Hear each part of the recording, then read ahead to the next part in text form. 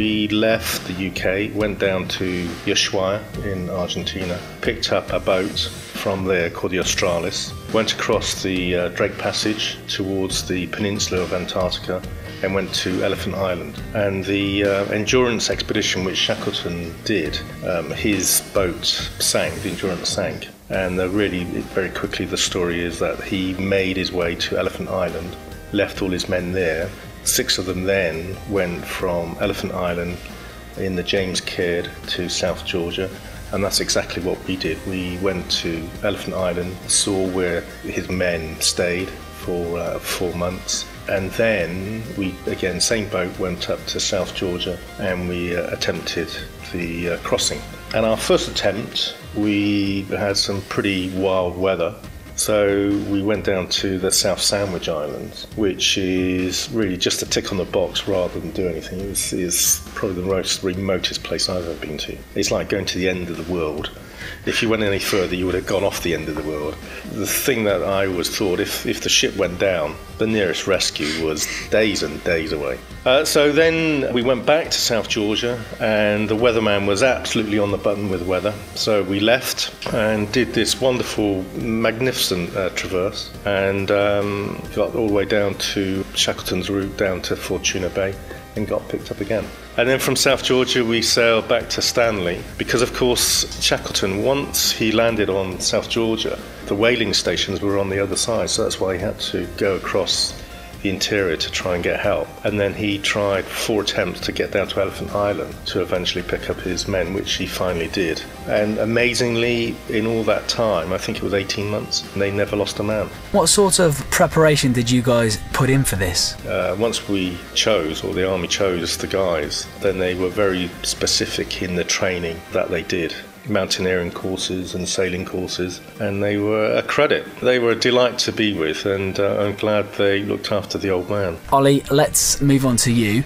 You have done two tours of Afghanistan, and on your second, you got injured. Can you tell us about that? Um, I was a section commander in the BRF. We were doing an operation, and during the operation, we were clearing through a group of compounds, and um, we were under contact for the entire day. Um, on the extraction as we were extracting out of the area um, we came under pretty accurate fire from UGLs underslung grenade launchers. The Taliban really good at um, using them and very effective. And um, as I was kneeling down, as we were peeling back, a UGL landed next to me and fragged all my arm and my leg, all my body armour, um, my pelvic protector, was all riddled with shrapnel, my rifle was smashed to pieces. After that happened, you were then flown back to the UK, you went through months of recovery. What was that like? Um, my recovery was mainly in up in Catterick, um, with physios in Catterick, but between Birmingham and Catterick, um, it was probably a good 10 months of physio um, on my arm, mainly because it broke two bones in my arm, shattered my elbow joint, and uh, affected the muscle strength. It's still not strong, but it's, uh, it's not bad. What was it like for you retracing the footsteps of a historical legend like Shackleton? You, you don't really appreciate what it would have been like for someone like Shackleton and guys and the kit and equipment they had. Um, for us, we had all modern day equipment, so even us on a modern boat with modern equipment retracing his route, it was rough enough for us. So you really get an appreciation of what hardship everybody went through to even survive, let alone create the massive rescue story. Keith, let's move on to you. You were also injured in Afghanistan. Can you tell us what happened to you? Uh, I was injured in 2010 on my first tour. Uh, I was hit by a grenade and it left me with balance and ear issues. Um, the physical injuries have, have long since healed, but it's left me with a balance issues, which, given that we were going to be on a boat in the swelling sea, um, and climbing as well, you know, I thought, mm, am I the best person to be doing this? But, you know, um, the Army have been great helping me with it, still allowing me to serve. And, you know, I think it's something that um, I have overcome. What would you say then were the best parts and the worst parts of this trip? Seasickness, with the balance issue on the boat and, you know, the Southern Ocean being so rough, I suffered quite badly from seasickness. I got through it, but it was, it was definitely rough. Um, the high point for me would be definitely completing the actual Shackleton crossing. You know, it's something that you do once in a lifetime. Mm-hmm. and that to be able to actually do that for me was a massive high. Justin, let's move over to you. You are the co expedition leader. Why did you guys decide to put this trip on in the first place? When we took the three boys from my old regiment to the South Pole, that sort of ignited a story which we thought was worth continuing.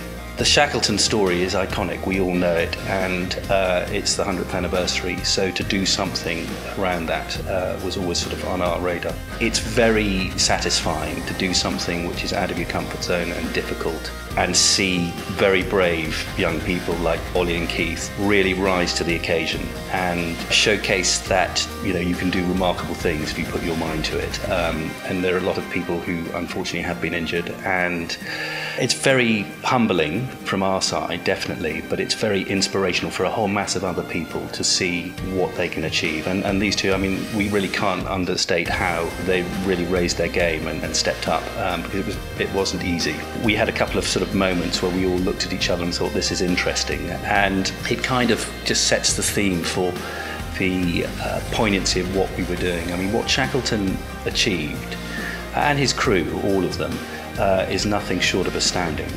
Um, and as Ollie said, you know, we did it with modernity on our side and, you know, weather planning and all.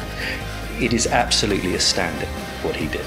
And to have had the honour to have walked that walk and seen what the human can do and belief and spirit and all that stuff that you do when your life's on the line is remarkable. The military, as we all know, the backbone of preparing people for very difficult situations uh, is second to none.